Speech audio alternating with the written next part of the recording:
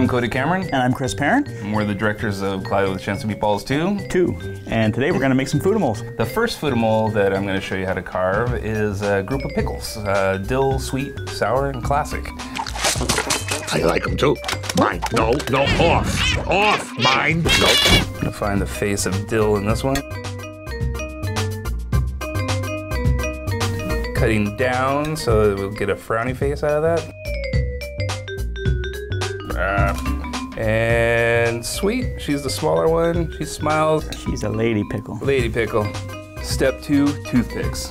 Going to fasten uh, the tops of their heads.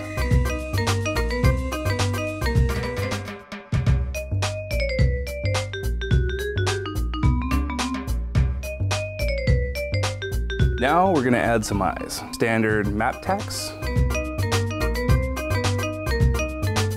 Gotta create a brow for this guy.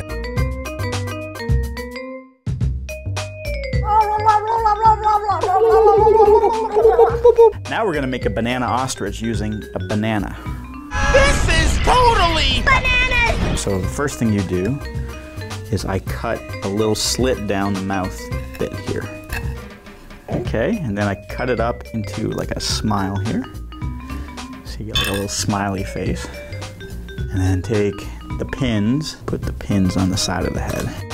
Then uh, you take uh, you take that little seam that goes along the bottom of the banana and cut a little slice down there. And then you just peel back the legs.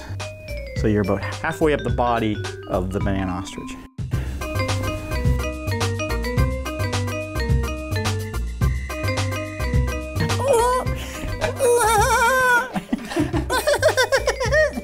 Gonna show you how to carve a leek. There's a leak in the boat.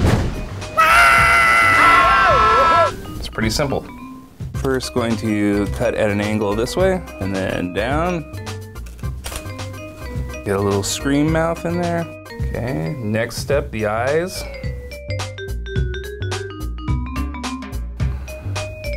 Ah! Now we're going to make a tomato. Oh, what's that over there? That's just a tomato. So let's gently cut into the face of the tomato and remove a little chunk. And I like to put my pins right on the same line as the mouth. Thanks for watching. We hope you guys enjoyed making foodimals with us. Uh, go see Cloudy with a Chance of Meatballs too. Coming soon.